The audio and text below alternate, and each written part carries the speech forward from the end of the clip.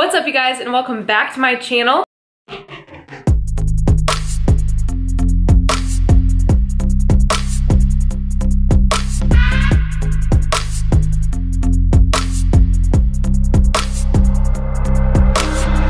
If you don't know who I am, my name is Des. I go by Des B. If you're new here, hello. And if you're not new here, welcome back. Make sure, if you haven't already, give this video a thumbs up, subscribe, and click the little bell so you never miss a video from me. Please uh, bear with me here while I tried some new makeup today.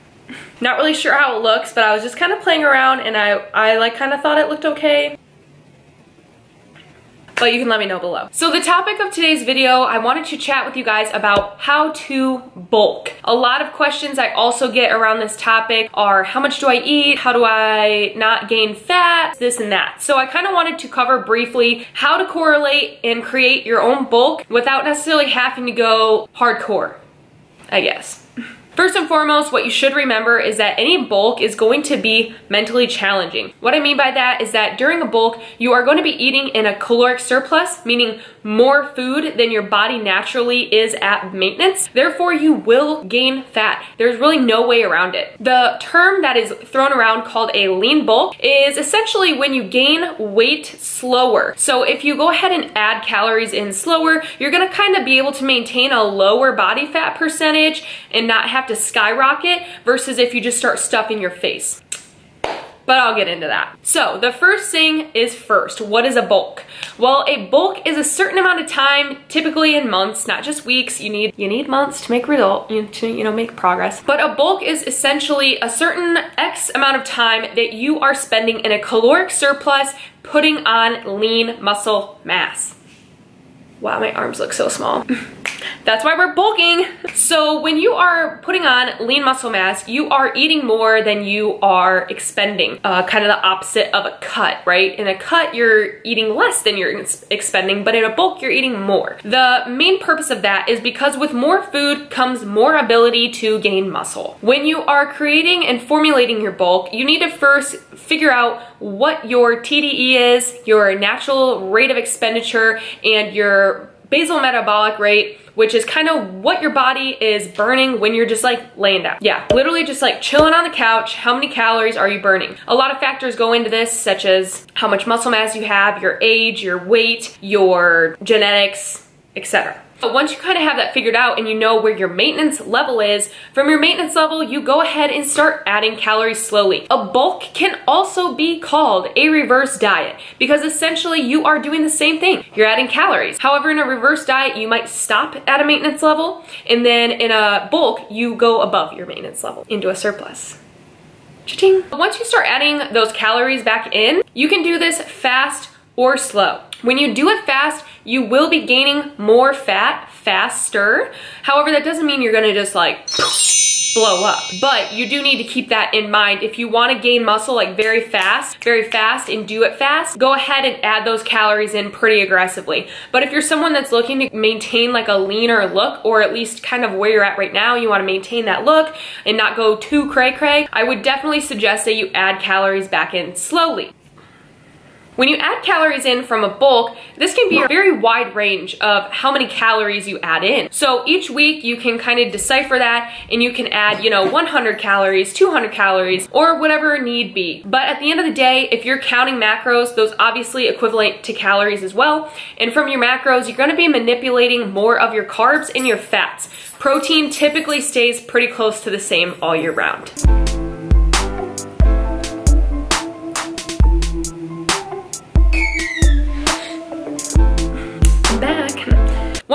Adding those calories in, that's when you're gonna kind of start adding lean muscle gains. Whatever kind of workouts you're doing, it doesn't really matter because at the end of the day, as long as you're pushing as much weight possible, you're gonna end up gaining muscle. That means you can do reps of just eight, you can do reps of 15, you can do reps of 50. As long as you're pushing yourself to the max in terms of weight, because weight is relative, then you're gonna be definitely gaining muscle. If you're looking to gain more strength, then obviously you're going to be in a lower amount of reps. But strength doesn't necessarily mean that you're going to see it. Hypertrophy training is when you're going to actually build up the muscle fiber in terms of being able to see it. If my arm was just like this, this is a bad example. If my arm was just like this and I was pushing some heavy weight, it might get a little bit bigger, but ultimately it's just gonna be a stronger arm. But if I add hypertrophy training and I'm doing very high reps and I'm building up the muscle fiber, that's when it looks like this.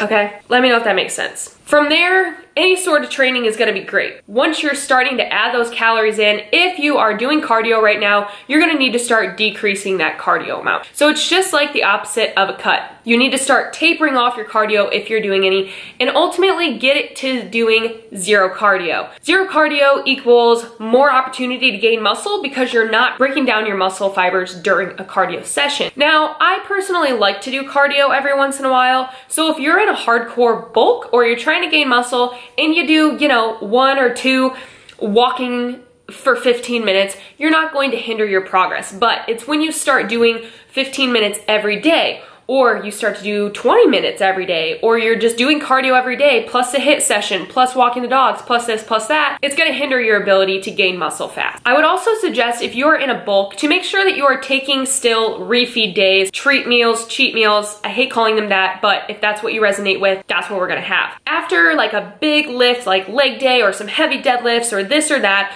you are gonna make sure that you're gonna want to replenish your body and boost up your leptin levels by offering yourself a refeed. In a refeed, you're gonna make sure that you're going right from a lift or within hours after and hitting up a really nice carb-filled meal. Minimal fat, decent protein. So things like I like to do are sushi and froyo. So any type of carb-heavy, lowerish fat refeed meal. That way your body kind of gets a boost up, kind of gets some extra glycogen going and lit.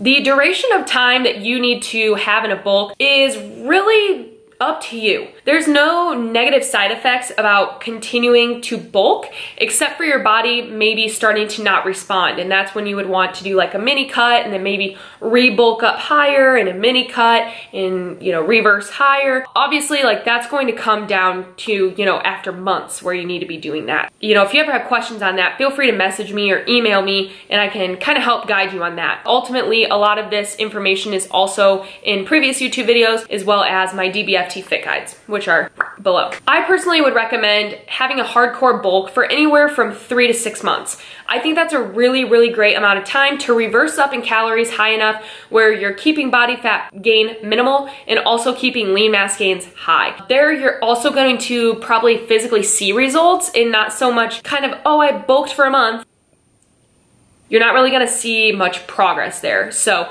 keeping a good, you know, 12, 16, 18 weeks of a bulk is going to be kind of like the lower end of a bulk. If I had to be honest, reverse dieting and bulking is one of my favorite things to do. It's a really great time to feel confident in the gym. You're pushing freaking baller weight, you're feeling great, you're you're filled out. When you start to see that that definition come in, you, you just feel strong, you feel empowered, and you feel super confident. So no matter where you're at or who you are or what you want to do or what your physique goals are, make sure that you just embrace the season that you're in and embrace whatever you're doing because at the end of the day, it is a part of your journey and it's a time that you really need to sink in and just enjoy it. Other advice that I have in terms of kind of bulking and general questions that I always get is that it really doesn't matter what food you're eating either. So a lot of people are like, oh, I need to like bulk and eat like just broccoli and chicken and rice. For sure, broccoli, chicken, rice, that is a great nutrient dense filled meal that is going to be very important in your daily intake.